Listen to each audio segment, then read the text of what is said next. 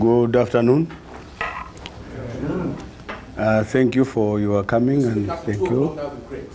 Oh, yes, I would, I would try to do that. Um, I am Timothy Nyasulu from Malawi, um, Church of Central Africa Presbyterian. I'm the uh, moderator uh, now up to uh, 2017. And uh, I'm presenting on the witchcraft, particularly focusing on the Tumbuka of northern uh, part of Malawi. Um, so that is my topic.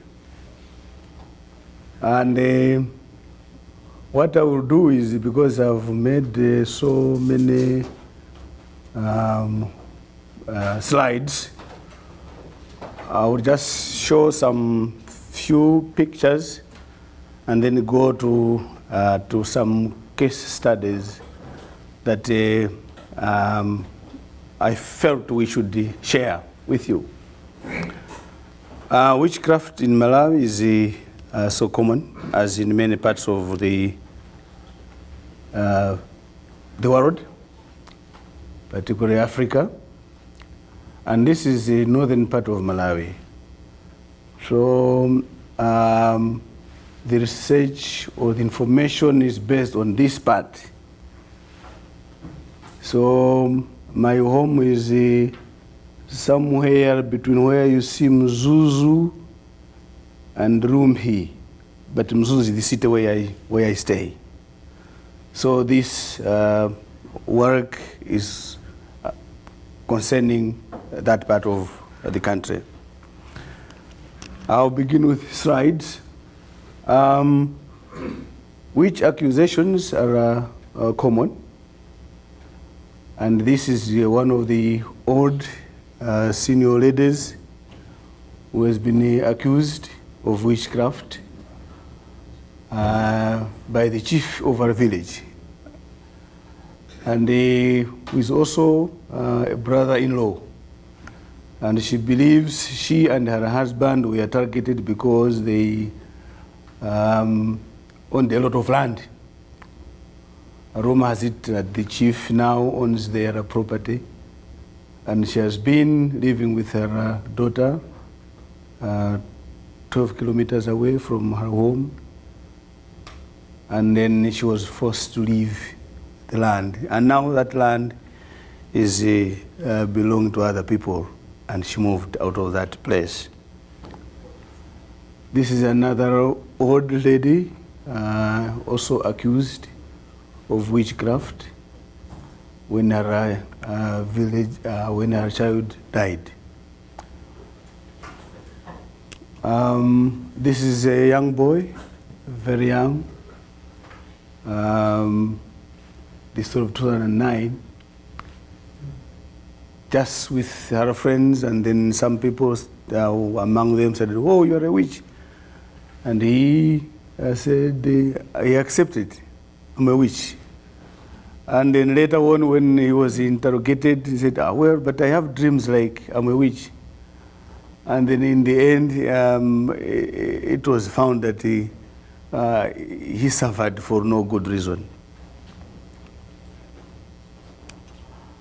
Uh, among the Tumbuka, you find people uh, who are uh, uh, generally known as witch doctors, who are, um, uh, can uh, divine and say it's your uncle who bewitched you or your father and so on. So most of them are uh, uh, in that kind of attire. I think that is their uh, uniform for whatever they do, I would call it. And then this is another young man who is also um, a, a, a, witch, and those are the things that he uses. And then here we have the exorcism that is taking place in the church. Um, so I think we saw one of the slides, I think, shown, uh, shown by our brother in the morning. And then this is uh, an old lady about 75, um, between 75 and 80, who was uh, uh, accused of witch, and uh, when she accepted, she was put in prison, and she was in prison for seven years. And that was the day when she was released. Uh, this is a case of a family in the southern part of Malawi. I, I got it that you to say I'm talking about north, but other parts also of Malawi you can find site, site kind of. So these were uh, the uh, the stories is like these were the ladies, girls of the same family, three of them. And then uh, uh, within the family, them and their uh, father, and, and, they were kind of accusing each other. Uh, you, um, the father is accusing the uh, the daughter and say, well, you, you, are witches, you, you, you do oral sex me, and, and so on. Those kind of things came about. And the girls were like so, um, um, uh, it was a time like uh, not good for them. They ended up uh, committing suicide. So this they did themselves. You see some people there, they came the following day uh, to see what, what has happened. This one is uh, the man in the middle is the director um, of uh, um, Association of Secular Humanism, George Thindwa. Um, he's uh, not far from my place, uh, just beyond the room here as you go down to, to, to, to, to far uh, north of, of, of, of Malawi. So he started an organization in 2008 uh, trying to deal with witchcraft accusations. He has uh, played a major role in the sense that he, uh, using the Constitution of Malawi, which does not accept that witchcraft exists, so he's campaigning against witchcraft accusations. So I thought I should pick him. So he, he has uh, embraced uh, three old ladies that had been accused. And I, I, liked the embrace that he has done. I'm like, how, uh, if the church could, could have the same kind of spirit of siding with the, the suffering.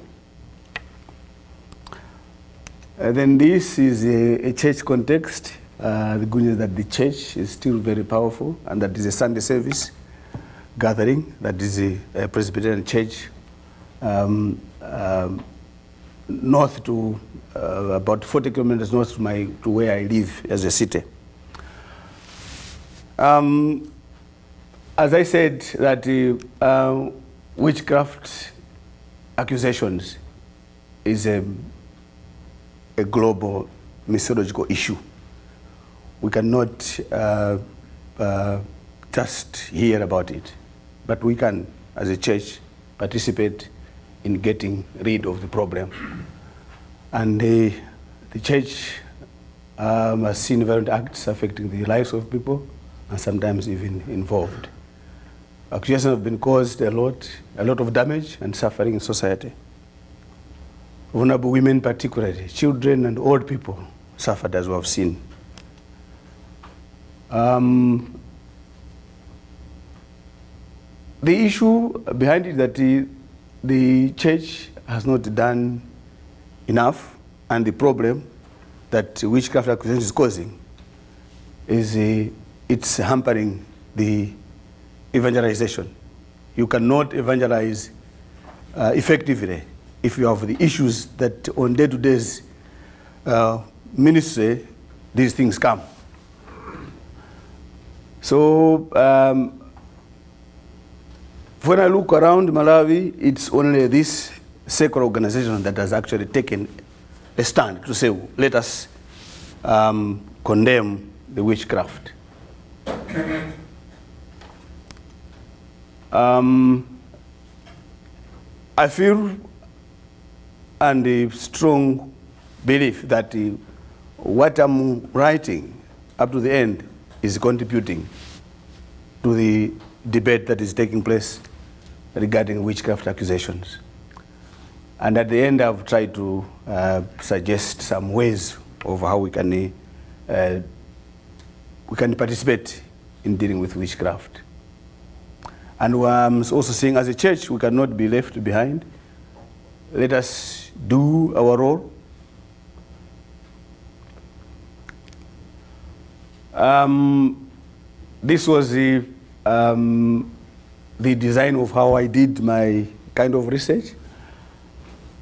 Some of the things that I will be showing you as the um, case studies have been taken from uh, um, Association of Secular Humanism, two case studies.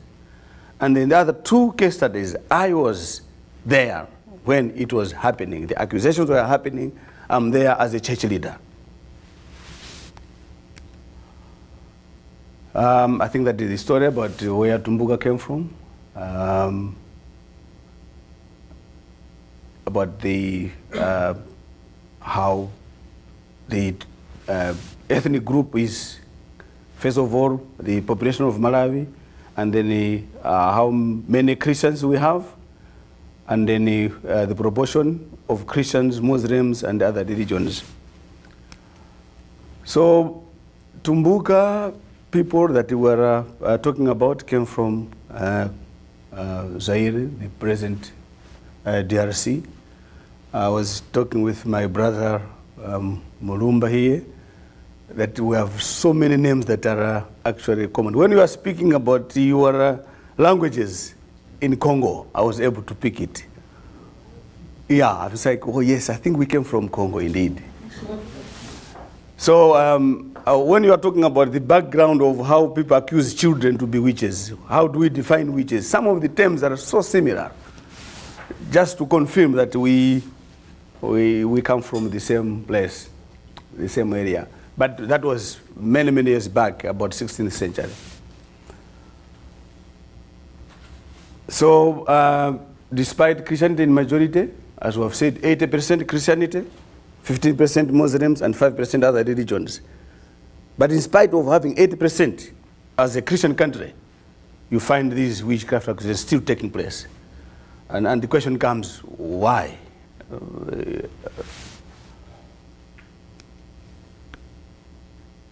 so when you live among the Tumbuka people, uh, like any other places, you find uh, there is a lot of suspicion, fear. From the time you are born, young, uh, you find, they tell you the stories of um, uh, how your life can be interfered by somebody. Um, when John Juice was talking about him uh, stealing a chicken of say, an old lady, I also had somebody in mind that was very old, and they were used to tell us to say, don't go this route in the evening because this is where uh, this man passes. And when he has just touched your head, then you'll be sick and died. You, you, you, you die. And, and there was no kind of uh, tangible evidence to say if he, that old person has touched the person is going to die. I think just to tell us that I think we are uh, in that kind of situation where we live in fear. Um,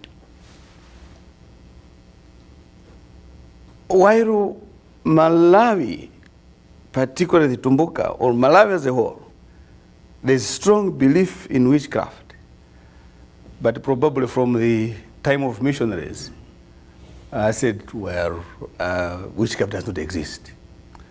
And the Constitution of Malawi was made in 1911. 1911, when we are still under British protectorate, under the Scottish missionaries, and uh, that has never been amended. The constitution is being reviewed, but it doesn't touch this part of witchcraft. So on the constitution of Malawi, it says no witchcraft. Anybody who is accusing somebody of witchcraft, then he who is accusing has a problem. Um, but, but people have that kind of belief. And, and there's also in the Constitution um, that the, uh, everybody has the right to believe, has the right to religion. So some, when they look at witchcraft, they look at a belief that somebody has chosen, then, then, then we, it, it, it kind of um, contradicts. So there is that kind of debate to say maybe one of the two should be removed or should be changed. Because if somebody says witchcraft does not exist, and somewhere say there's a right to any belief, therefore witchcraft is a certain belief that people follow. So there is that kind of um, uh, debate within the constitution, probably it will be amended. But with that uh, um, organization, they would want to stick to the statement there is no witchcraft. So accusations are not entertained. So this is about that. Uh, I, will, I will skip that one. Um, let me just go to case study one. Uh, uh, this is the lady, 80 years, suspected uh, in December 2011. Um, and a, a witch hunter or a witch doctor is saying, uh, if you want to, uh, to be free from witchcraft, give me 5,000 Malawi kwacha. To a Malawian uh, local person, it's a lot of money. And uh, she had to borrow the money and pay it, uh, and uh, she's in debt. And she did not report to the police, as she thought it was normal. You know, some people can suffer the problem because they don't know where to take the problem to. So you feel as if you are really guilty, but because you do not know where you, you can take the problem to. Oh, why write so fast? Um, so after uh, that association was contacted, then they came in, uh, they um, uh, talked over issues, and then he, um, the brother, after hearing, said, well, I think uh, we are going to be assisted here. So Pauline later on was relieved from the threat of being accused of witchcraft. Because of that, that intervention that came from the association.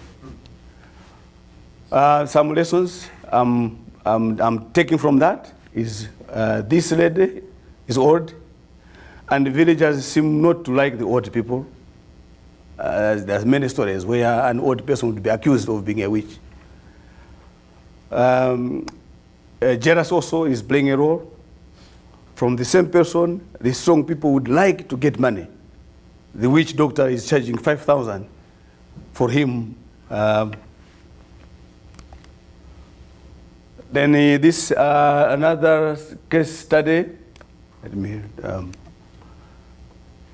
another old lady, 75, also um, in that kind of situation, they decide to de demolish her house because in the house she keeps witchcraft.